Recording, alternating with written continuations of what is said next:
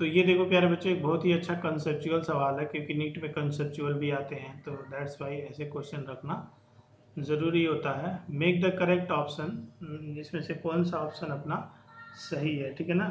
तो अब देखो friction always oppose the motion of the body ये बिल्कुल गलत बात है कि फ्रिक्शन हमेशा मोशन को अपोज करता है। जब हम चलते हैं, ठीक है ना तो फ्रिक्शन हमारे पैरों के बीच यहाँ आगे लगता है, ठीक है ना, इधर लगता है, ठीक है, सामने। तो ये वाला जो अगर आप ऐसे देखोगे, ऐसे मतलब एक कॉन्टैक्ट फोर्स ऐसे लगता है, उसका एक कंपोनेंट फ्रिक्शन होता है, एक कंपोनेंट नॉर्मल होता है तो फ्रिक्शन हमेशा मोशन को सपोर्ट नहीं करता, हमें चलने में हेल्प भी करता है, ऐसे बहुत सारे जगह हैं। तो ये ऑप्शन गलत है। और दूसरा friction oppose the relative motion between the surface देखो, अब रिलेटिव मोशन को तो अपोज करता है, ठीक है ना? अगर, लेकिन ये नहीं कहना कि रिलेटिव मोशन ने ज़ीरो होगा तो फ्रिक्शन जो है वो नहीं लगेगा। रिलेटिव मोशन ज़ीरो होगा, फिर भी फ्रिक्शन लग सकता है। अगर एक ब्लॉक इसके ऊपर स्लाइड कर रहा है, ठीक है ना तो इस यहाँ से कोई ऑब्जर्वर देखता है तो उसके लिए रिलेटिव स्लाइडिंग जो है फ्रिक्शन रिलेटिव मोशन को अपोज तो करता ही है।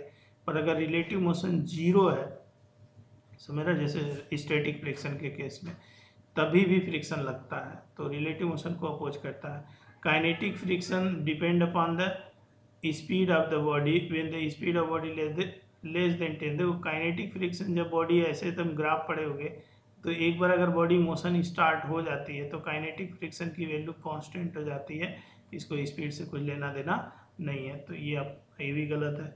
Coefficient of friction always less than or equal to one देखो नॉर्मली जनरली ऐसा होता है जनरली जो है जनरली मैं लिखूँ तो म्यू इज़ लेस देन या इक्वल टू वन होता है but in some special cases some special cases if surface is highly smooth polish कर दिया जाए तो म्यू ग्रेटर देन वन आ जाता है, क्योंकि वहाँ पर कोहेसिव फोर्स बहुत अधिक हो जाता है। तो एक जनरली यूज़ नहीं होता तो ये भी ऑप्शन गलत है। मतलब बी ऑप्शन सही है। Thank you